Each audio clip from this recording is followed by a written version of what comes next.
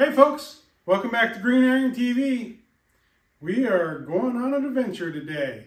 So uh, as you can see, we have a new piece here in the Green Iron Garage. And uh, this is the one I talked about a couple videos going back. So this is a 1942 uh, M1 57 millimeter anti-tank gun.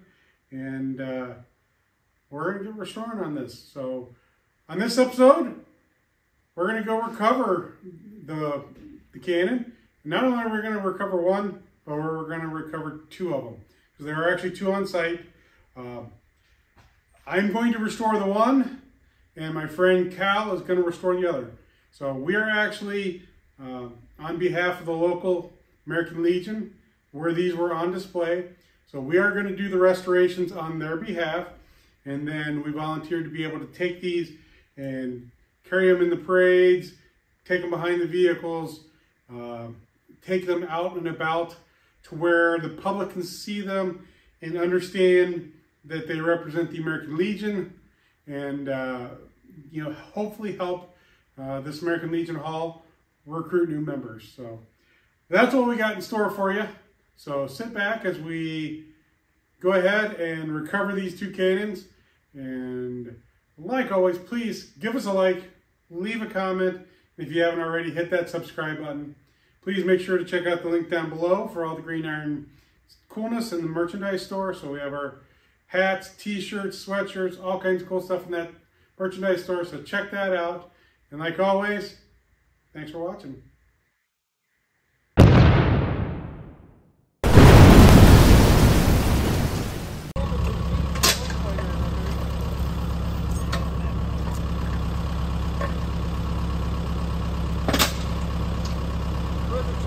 Right, Dave?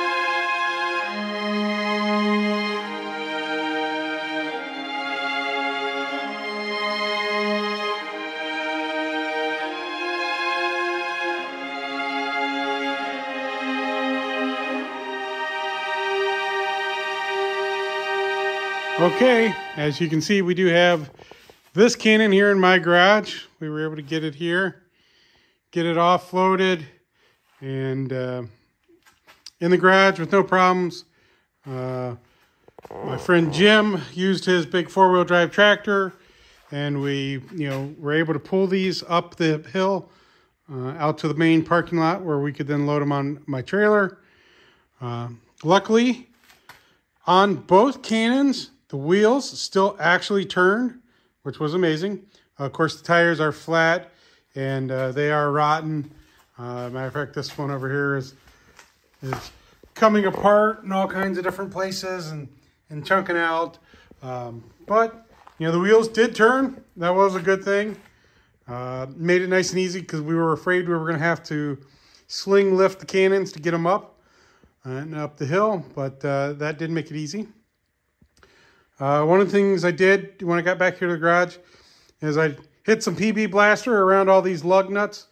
And uh, I actually threw the breaker bar on them the other day just to just to check to make sure that uh, after sitting for 70 plus years that uh, these lug nuts are going to come off easy. And every single lug nut broke loose pretty easily with very minimal effort and uh, we were able to uh, should make it nice and easy for them to come off. I can then get these wheels off get them broken down and uh, replace out the tires. Of course while we have the wheels apart we'll probably uh, sandblast them and put some fresh paint on them and take care of stuff like that. Once I get the wheels a set of wheels on it so that it rolls easy um, plan on getting it outside here in the garage. And uh, this thing needs a good, serious power wash. Um, it's been sitting for, as far as anybody can remember, uh, these cannons have been sitting at the Legion uh, since the early mid 50s. And uh, they have been sitting there and haven't moved since.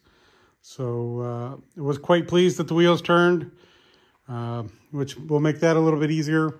But uh, there is a lot of buildup and gunk and, you know, every little nook and cranny has, you know, debris down in it. Um, you know, there's leaves and rocks and, you know, just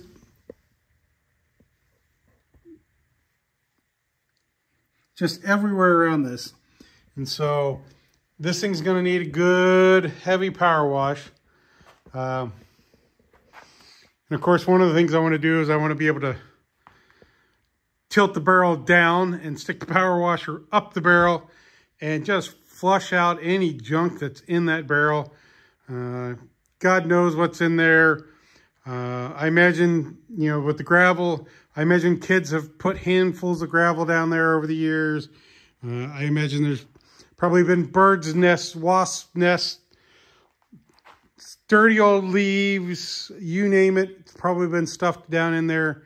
So uh, we want to just try and clean that out as much as possible. Um, I would like to um, get the mechanism working so that we can split the legs. So we'll work on stuff like that. Um, you know, there's a lot of stuff that is complete. Uh, you know, the breech is welded and it does have a hole drilled in the breech uh, to prevent anybody from using it ever again as a firing weapon. Uh, one of the things we're missing, we're missing the sighting scope. Um, so I might just have to try and build something that looks like a sighting scope. Uh, and of course, this lever here, which originally opened the uh, sighting window, as you can see, it's all bent and mangled around uh, where somebody is beat on that. So we'll take that all apart and try and straighten that out some and uh, see if we can get that working. Uh, you know, the elevation doesn't seem to work. Uh, it is probably just frozen up with everything. Um, so we'll just, you know, slowly pick away at some stuff like that. Um, and as you can see by the flaking paint, you know, there's several layers of paint. This thing's been repainted a couple times. And uh, you can see some of the dark green, some of the more medium green, and then this this top green, uh, which I imagine was probably painted, you know, somewhere along its life at the Legion.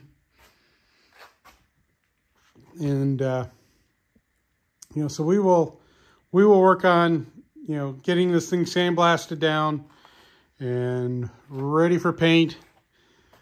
And uh, this thing should, should, should make a real nice display piece and be perfect for uh, towing behind the vehicles in parades and showing off for the American Legion. That's what the whole purpose is. So, anyway, I want to thank you guys for watching along and uh, checking out this episode of Green Iron TV. And if you have any questions or if you have any knowledge on these M1 57 millimeter anti-tank guns, um, if you have any technical drawings, uh, maintenance manuals, even just cool documents with them about them. Uh, I would love to hear from you. I have done some searching on the internet, and there doesn't seem to be a lot of information out there about these.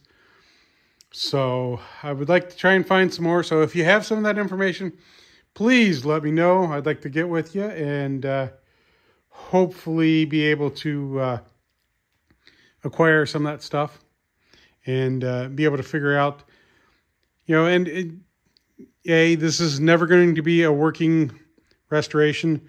Uh, this is going to be a display restoration. Uh, we want to basically get this thing stripped down, preserve what we can preserve, and uh, you know get it back in good paint. Uh, make sure the wheels are rolling good, have good tires on it, and uh, be able to tow it in parades. So that's the big main goal. And uh, I want to thank you guys for watching along as we uh, start this journey. And of course, like always, please give us a like, leave a comment. And if you haven't already, please, please hit that subscribe button. You don't want to miss all the work we got going on with this cannon. So this should turn into a really neat piece. So stay tuned for all of that. Thanks a lot, guys. And have a great day.